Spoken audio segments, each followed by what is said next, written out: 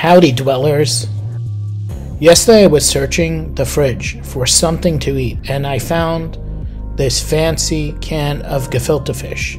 This is a nice 600 gram can, with seven fish bowls swimming in some sweet, tasty goo.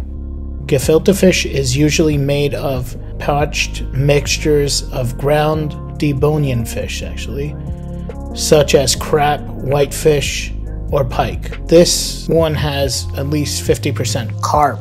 Opening the cover, unleashing a nice sweet fishy smell that's I'm sure everyone would love.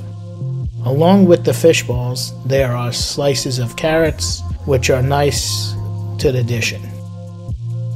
It may not look like something, but they're pretty delicious. It's okay to eat it cold, straight out of the fridge. Here I put it on some white rice.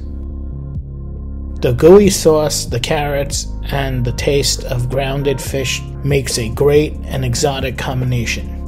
Gefilte fish traditionally claims that this is best with horseradish. Too bad I don't have any on me now. This is an ultra kosher. It should be stored in a dark place for up to two years. It must be consumed four days after opening. I would recommend it to anyone.